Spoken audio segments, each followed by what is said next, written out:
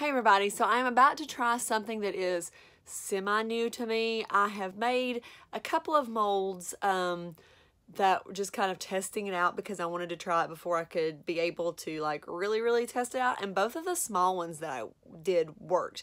However, I am doing it totally different because I am making I want to make a mold out of something that I cast out of epoxy and for the directions it said that newly cast epoxy could inhibit the curing of the silicone so I had to wait for like a week to give it time to um, so it wouldn't be like newly cast anymore.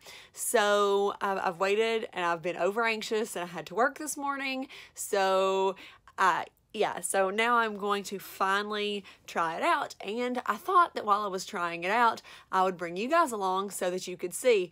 And I guess after, as this is posting, I will know if it worked or not. But of course, before I do it, I don't know if it's going to work or not. So, um, yeah, I'm just going to test it out. I wasn't really able to find any YouTube videos about this and maybe they're there and I just couldn't find them. So I'm just going to show you how I did it and that is definitely not the be all end all. There are different ways to do it. Um, I just know from the two tiny ones that I have done, this worked best for me. So I'm just going to try and do it, only do it larger scale. So anyway, here we go. First, we want to start with what we'll need.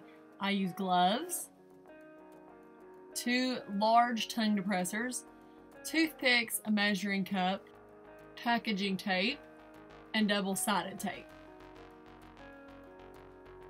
And also the silicone rubber that you're going to use.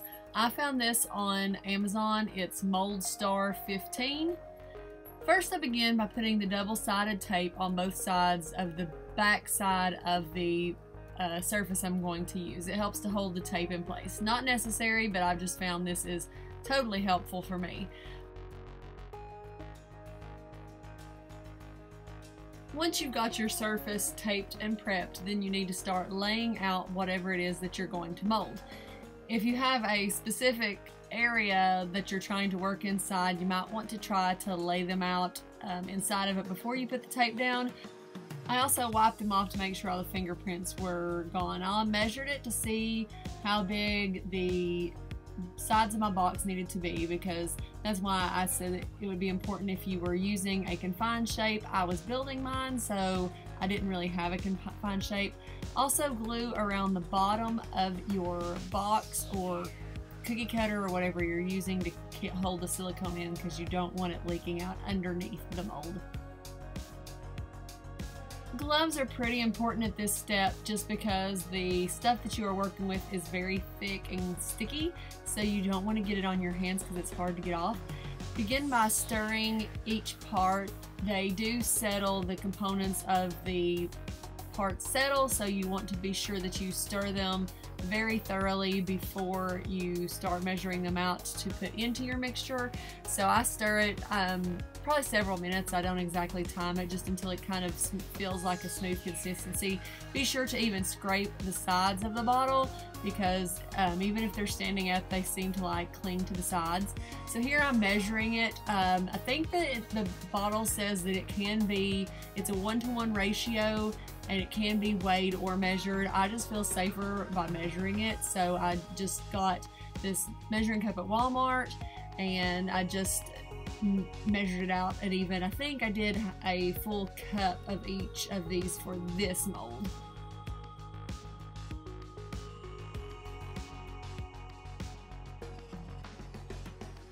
I also use the toothpicks to scrape down the side of the tongue depressor just to be sure I got it all mixed in good nothing was sticking to the sides of the tongue depressor.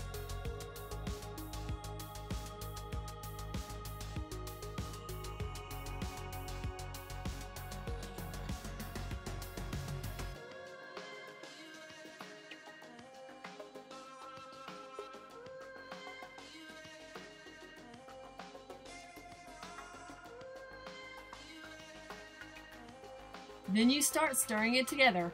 It probably takes a good um, three to five minutes to get it all stirred and mixed together very, very well. The, the good thing is that since the, each part is a different color, all you do is you stir it until they are mixed together and the colors, the color is even throughout. There are no streaks. I usually will go until it looks like they are mixed together well and then I will do it for a minute more. Here again I'm using the toothpick just to be sure that I get all of the parts off of the tongue depressor to make sure that they are all mixed together very well.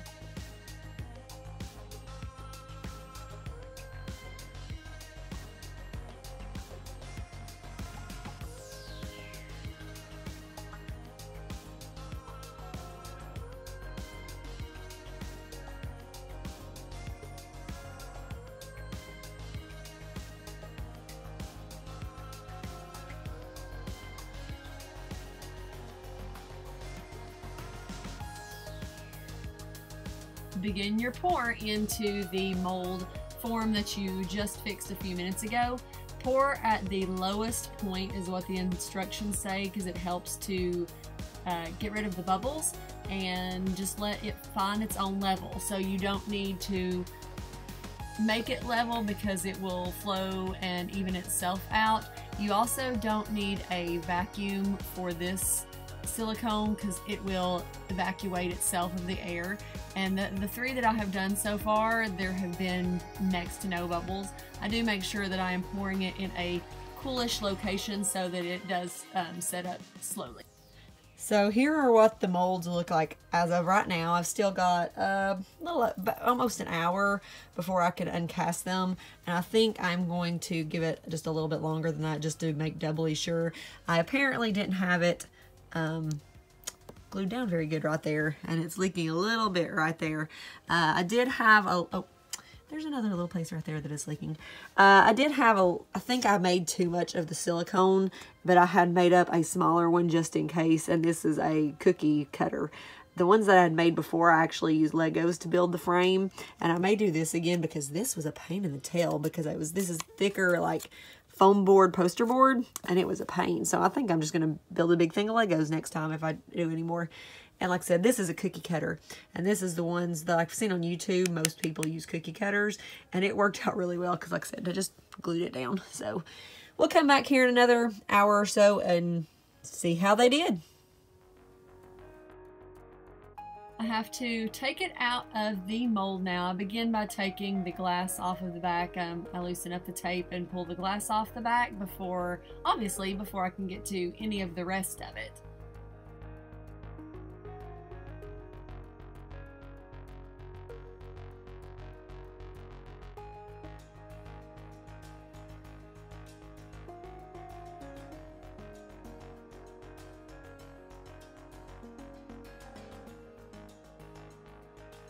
I pulled the tape off and it left it very shiny, which silicone does um, mold to whatever you have molded it to. And since the tape is shiny, it left the silicone shiny, but it was almost so shiny that I wasn't sure if I got all of the tape off, but I had to like look at the tape to make sure that I had it all off.